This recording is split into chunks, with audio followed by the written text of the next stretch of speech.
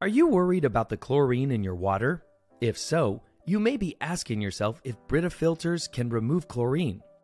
Fortunately, all Brita pitchers and faucet filters remove up to 99% of chlorine from tap water. Brita filters also reduce the level of chloramines, another disinfectant, but not as well.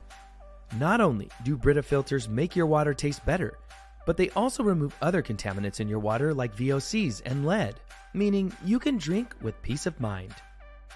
Do Brita filters remove chlorine from water? Brita filters are very effective at removing chlorine from your water. The Brita website states all Brita filters are designed to reduce chlorine taste and odor from your tap.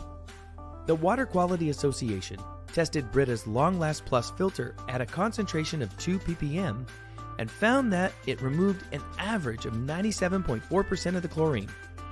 This independent third party certification agency verifies the claims made by manufacturers.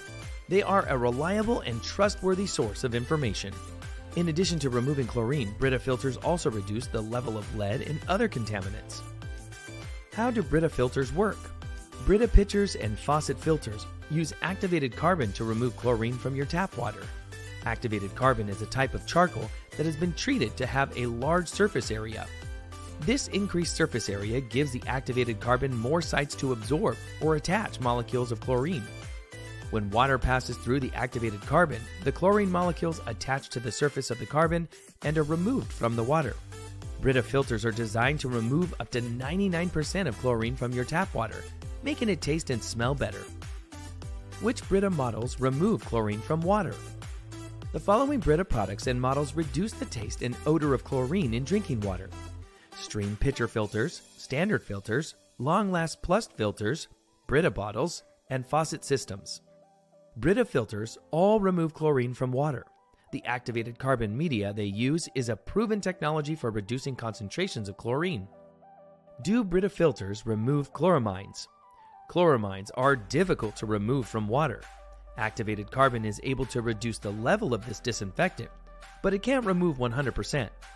The problem with pitcher filters is they don't have a lot of contact time, the amount of time the water is in contact with the carbon, so they aren't able to completely remove all the contaminants.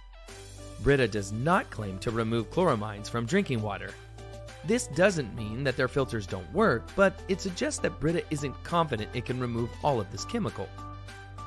Brita Simple Filter removes chlorine. The Brita Simple Long Last Plus filters are able to effectively remove chlorine from water. These filters use activated carbon, which is very effective at reducing the level of chlorine in water. The Brita website indicates that their filters are made to reduce chlorine levels to improve the taste and quality of tap water. Filter maintenance is very important for chlorine removal, Brita filters are able to remove chlorine and other undesirable contaminants from your drinking water. However, the filters must be changed regularly in order to maintain their performance. For best performance, it is recommended that you change your Brita filter after it treats 120 gallons of water. This works out to every six months for the average family. Brita also recommends that you only process 2 gallons of water per day you may need to change your filter more frequently if you have hard water or if the chlorine concentration is high.